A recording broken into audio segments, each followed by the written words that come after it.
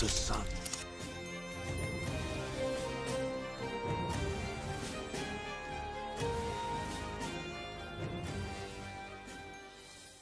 Hello everyone and welcome to another video. Today we're gonna be rigging Dr. Octavius. Now you might be wondering why are we rigging this character really? Like is it 2021 that we got this Spider-Man No Way Home? No.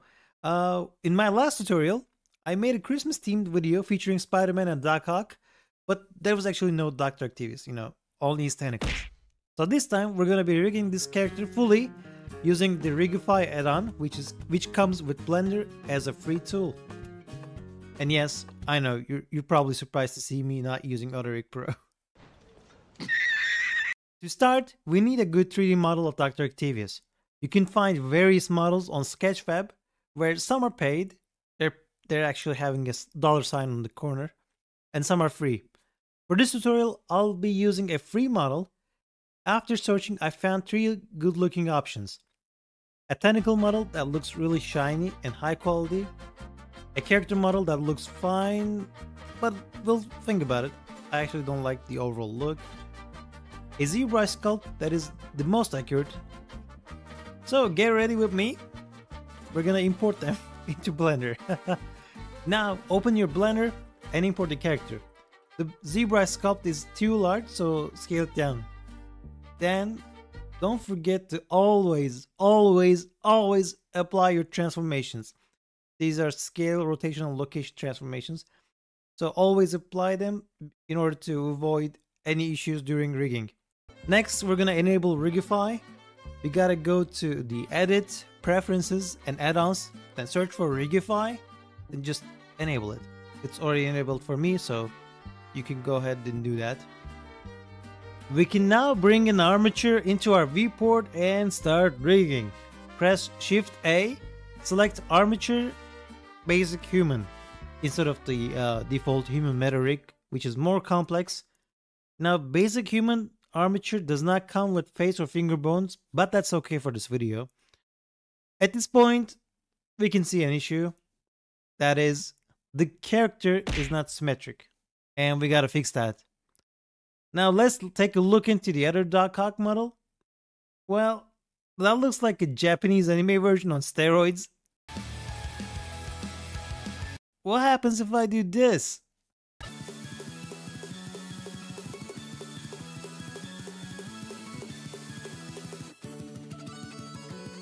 Instead of manually adjusting everything, we'll take a shortcut. We'll remove the skin from the ZBrush sculpt and replace it with the jacket from the steroid guy which is already symmetrical. This way, our model will be much easier to rig. We can start adjusting the rig right now. Go to edit mode and position the bones where they should be. Think of it like placing the bones in a human body. Ankles, elbows, shoulders, etc. Once satisfied, apply all transforms. Select the character mesh, select, uh, I don't know, the jacket, select everything that should be part of this rig. Okay, then select the armature and then press Ctrl P with automatic weights. That way we can parent it to the rig. If the automatic weight painting fails, like in this case, it's likely due to too many vertices. Fix this by going to edit mode, press A to select everything, press M, merge by distance, but don't overdo it or your model will be, you know, losing all the details. And now, and right now, let's try to parent it one more time again. Let's hold your breath. And yes, it did work. Congratulations on this. To prepare for animation, the character should be in T-pose. That's a general rule of thumb. I don't know who invented this, but uh, that's what they what people usually use for animation, right? So let's put this character in T-pose. Go to pose mode and manually adjust the bones to a T-pose. Select all objects bound to the rig and apply the armature modifier. Why do we do this? Because when we go to edit mode, everything goes back to a regular A pose. So we gotta fix this. Anyways, in pose mode, set the current pose as the rest pose. Now parent everything back to the armature and there we go. Our rig is now ready for animation. We'll now import the tentacle model. This model comes with an FBX rig from Mixamo, but we only need the tentacles. Firstly, we're gonna delete the Mixamo mannequin, but keep the tentacles armatures. And yes, they do have the armatures inside since you know these tentacles bend, right? So they they need to have some sort of a uh, some sort of a armature. Select each tentacle's armature and press Alt P and say clear and keep transformation. That way we really want to keep them keep them in this shape, in this size, but we just wanna we just wanna unparent them, okay? And next, just reparent the tentacles armatures to our character. We gotta select the each tentacles armature and then select the closest bone in Doc Ock's armature. Press Ctrl P, P and parent to the bone. And there you go. Now the tentacles follow the character's movement.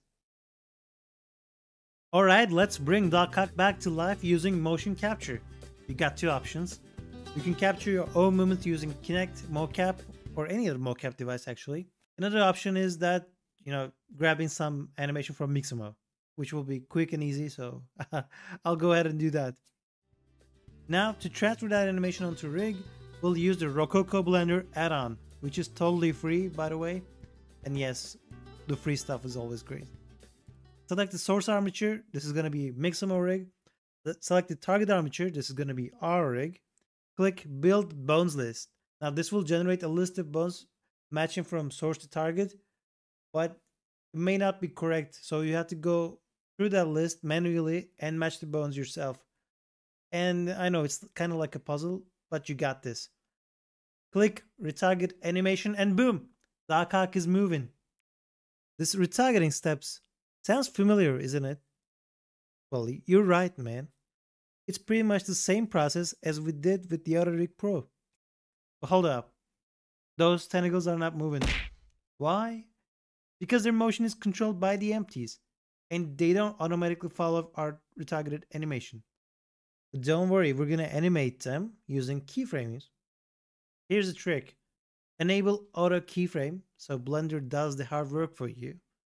Select an empty that controls the tentacle. Press I to insert a keyframe for its position.